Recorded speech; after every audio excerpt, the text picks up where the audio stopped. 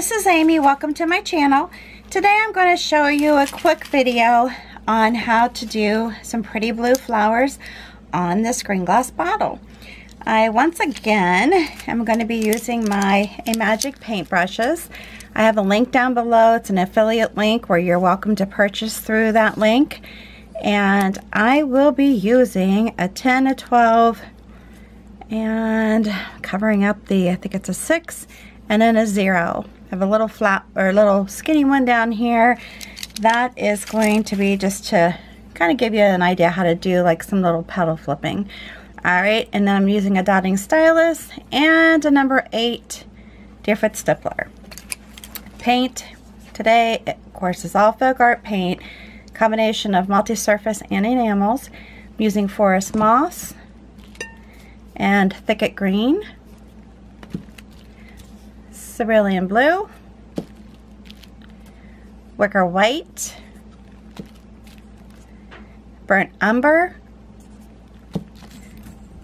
School Bus yellow. And yellow ochre. And I'm still using my camera to do the video. I'm hoping to get my new card for my video camera here soon so I can go back to those videos. But anyways, got to use what you have, right?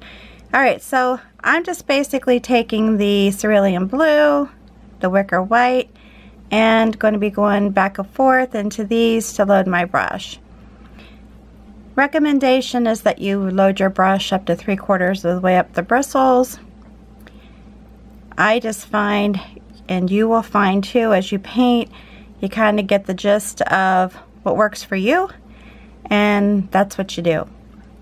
So how I'm doing it may differ from how you do it. That's perfectly fine. All right, so let's go ahead and get started. I am just doing a real simple petal on here. And I'm just going to do just a little bit wiggling. And I am going to create three of these. I like to work in odd numbers. I have cleaned off this bottle. It has been washed. And I rub, did the rubbing alcohol on it to clean it off. And it's ready to go. When you're painting, if you feel like you need to put another coat on it, know, feel free to do so. Just know that you just have to be careful when you do that so you don't lift the paint up. But that's definitely perfect, you know, and fine to do if you need to. The more opaque your paint is, the better it's going to be. And I just got my fingers full of blue paint, so here you go. All right, so here we go. We're gonna start, and I'm just doing single petals, just going up and down and wiggling as I go. Now, when I'm doing these, I can make them bigger, make them thicker, because on my initial design they are a little bit thicker, but that's okay. I like to do a little bit of movement with my colors, and I think when you do that, it gives it a little bit more interest than if you're doing like all dark blue around all the petals. But you can do it, you know, if you like it to where all the colors are the same going completely around the, the flower, that's, that's great. Up to you. All right, so we're going to keep going here. And I'm going to, to start, I will be doing some overlapping. And when you do this, you can actually do it to where you just pretend and like this is going behind it or you can go over it which is what I typically do as I like to go over the top of the flower next to me but I can also make it look like it's just partial partial flower showing through and just do a pe few petals beside the flower. So however you want to do it, you know, that's fine. You got to keep in mind that in nature or whenever you're creating a bouquet, you're not going to have everything just lined up perfectly and not on top of each other and overlapping, if that makes sense. All right, so let's just come here. I'm gonna do it like this. And this color combination seems to be, if you're, if you're noticing, it seems to be pretty opaque. Some of the combinations are not, so I feel like I have to go over them. This one I'm going to do, it's like it's a, like it's a folding flower. It's not completely open. And you notice that I went ahead and reversed the petals so that they're white on this end and dark on the other end. Either way, like I mentioned, is fine. However you want to do it. And that goes with your leaves too. If you want to pay attention as to the direction of the light source, you, know, you can do that also.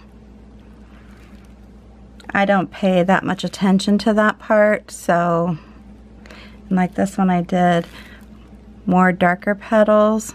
No particular reason. I just decided to do it that way. I mean, I'm sure there is a directional, uh, as far as protocol, you know, how you have the light source and all that. I'm not too concerned about that on this. Actually, I'm not concerned at all about it, to be honest with you. All right, so next thing I'm gonna do, pick up my other brush, my 10. Gonna do the same thing as far as the loading of the brush. And I'm sorry, I just don't have a whole lot of space. Actually, I do have a lot of space, but it's filled with stuff, I'll be honest.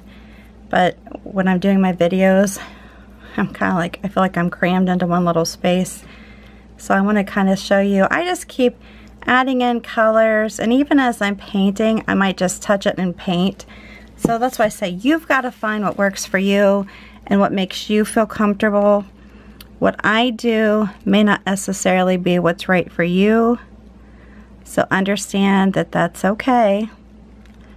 Everybody has their ways that they feel more comfortable. So what I do doesn't necessarily mean it's right for you or it's wrong. Like so this one's going to come over here.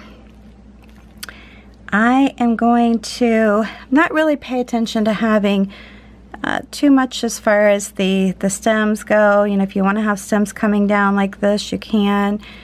Uh, make it like it's these flowers, the stems are coming down, or each, each individual flower has a stem. That's up to you too. But I'm, I'm not too concerned. I just have a few down here. Or you could forego having a stem at all and just paint paint leaves around them. And I'm sorry, my fingers are blue from tipping into the to the paint. I'm to get my arm in the paint here in a second.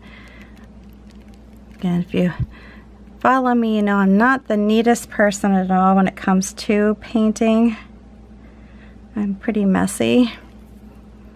So like on this, I can come back down. I'm basically using four colors on these on these leaves. Oops, I don't know maybe even five colors because I seem to keep getting blue in here. Alright, so I'm to go like this, do some double, double leaves, do a little stem this direction. Now with it being a green bottle, sometimes I end up doing doing it with the green, the lighter green showing as opposed to the darker. However, on this one I'm going to do a few of these type of leaves and I can actually kind of switch them around a little bit like that. Yeah, I'd like to try to add more than one type of leaf into my project. But I'm just going to kind of do just a little stem to it. I could do a stem down here. It doesn't really matter. It's like wherever you want to put it, it'll work. And let's go down here. And I'm going to put one down here. And then what I'm to do is come back down this way and put the darker let me get get my brush loaded a little better. See if I can do this without messing it up. Might have to tap it a little bit. Let's go do it again, go over it again.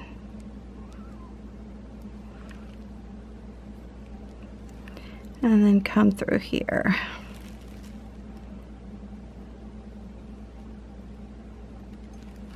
All right, so then I'm gonna come up here, just do a few more this way. Now what I'm gonna do up here though is I'm gonna do more of the, just the real easy one stroke type where you just kind of pull them. To be careful though because it is pulling up the paint a little bit. And I noticed that here, so I just have to be really careful, just hit it lightly. And do the same over here.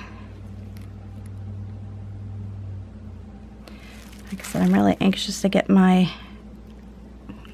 be able to use my video camera again because I feel like I have a little more room to do this.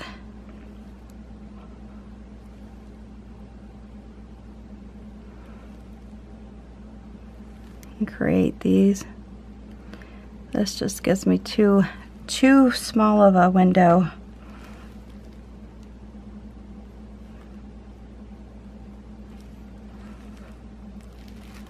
I just want to make sure you're able to see it. That's my problem or my concern.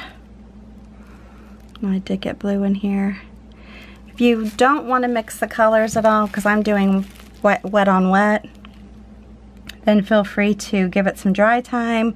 Hit it with a hair dryer, a uh, heat gun, whatever you have access to, just to give it some dry time. All right, so I'm gonna come over here. I'm just gonna do like a stem, just kind of in a few places just to give you an example of, of what you could do. Maybe even coming out here a little bit. And I think I'm gonna stick with this brush. I gotta kind of move on though because I got too much blue in it. Okay, so when you do that, I'm just doing it as a filler, you know, so that I have some filler leaves in here. Maybe a little vine, however you want to describe it. And I am just taking it out, bringing it back in, touching, bringing it back in, and then I can make littler ones towards the center. I can bring it back out. I just kind of want it to be a little irregular as far as how I'm touching and bringing it back in, that the actual uh, leaves are not all the same length. And I gotta be really careful here because my brush is so long that I can actually end up hitting the camera. So I don't, I'm trying to, trying to avoid that if at all possible. If I feel like didn't get it in as cleanly as I wanted, I can actually come back over them just lightly, maybe even add some more color into it as I'm doing this. as you see. All right. I'm kind of crazy with the, I don't know, I'm going to say with the brushes, but with rotating, I'm sorry. Dogs have to bark every time I do a video. I don't know if it's the time of day I'm doing the video. I'm to come out here like that. And I can even switch them around a little bit where they have more of like the olive. Maybe throw in some brown. Just very, I don't want to say sporadic, but kind of. I'm just sticking them into the paint and I'm just going to mush them together. And the purpose of that is I'm just going to come through here and just add in some random, I'm going to say like one strokey kind of leaves, just the smaller ones. And these definitely are more like filler, filler leaves. And go over the top of the top of the flowers. I'm sorry, you're the dog bark. And now my furnace is starting. Uh, let's see where else we might want to put some. Maybe down here. got some writing on this bottle. This is a Jameson bottle, by the way. My bottles are not all wine bottles, too. Just so you know, they're not. And I'm to do some more here because I don't have this little guy is the kind of like the bottom of it. And I'm just to come through here and put these little stems in them like that and I could just do some little wiggly little cute little stems that come out from them. The only problem with these is that they're not very thick so it's possible you know you want to make sure that they're they're thick so that they do not come off easily. That makes sense. Alright, so I'm to come like that, bring that in, just kind of wiggle it. Like that, see? Just very easy. You can keep going up the bottle if you want. Alright, so then I want to get this done. I'm going to tip my Deerfoot Stippler. I'm to tip the front of it into the uh, School Bus Yellow. The back end of it is going to be into the brown, the burnt umber, and then I'm going to tap in my centers and they they come in different sizes so if you don't want your center to be very big you can use a different size. Not tap as hard. Because really basically when when you're painting it's the pressure you put on your brush that'll determine sometimes the shape of your petals in addition to the size. So if you don't want them to be big then you don't put as much pressure now I'm going into the yellow ochre, kind of tapping in some of that too. And this is the number eight. I'll come back over it.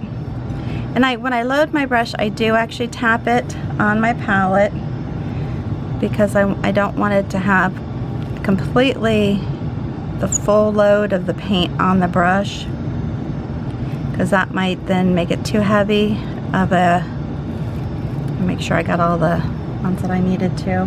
Might make it too heavy of a load. So I'm getting some yellow on my, or blue on my brush too. So I'll come back over it and just tap in. And then I like to finish off with a little bit of white. Or a lot of white, depending. You can do that. Or you can just keep working with them to get them whatever the uh, amount, thickness or whatnot you want on there. Then I'm going to come in here and just do some white dots. I like dots. If you don't like dots, then leave them off. Anything I'm showing you can be adjusted, can be left off. If you don't like it, you don't like as much, then do, do what you need and how you like it to look. If you want to add another color into this, you can, you know, yellow, or maybe even just a totally different color so it stands out more, you can do that as well. Or go lighter on the dots. But I like a lot of dots, I'll be honest with you. So, that's why I do it this way. Alright, then I'm to put a few dots up in here. And this one too. Then I'm actually on these, I'm going to come in here with some yellow. Not a lot, just a little bit. I'm not going to do this on the ones surrounding the centers of the flowers, so I'm just doing it on this one. Alright, so there you have it. Pretty easy. I hope you like this. If you do, make sure you give me a big thumbs up. New to my channel, please subscribe, hit that uh, notification bell, and then if you would, before you leave, share this on your social network with all your family and friends. I would greatly appreciate it. Uh, one other thing too before we go, and I just, just thought of this, I didn't show you, but a way to, I'm sorry, the way to, you know, maybe show some flipping of your petals And, and I just mean like, you know, that they turn up a little bit. You can do something like that. If you're looking at a white petal, you can, you know, do more of the darker blue on the one side, you know, kind of turn it. But that's the whole purpose of the, the smaller brush is to use it for that and just kind of give your, give your, your flower a little bit of movement because you know that in life, they're not all to be perfect. And you might just have some curled up leaves here and there. All right? All right, so you guys take care until the next time. I will see you then. Have a good one.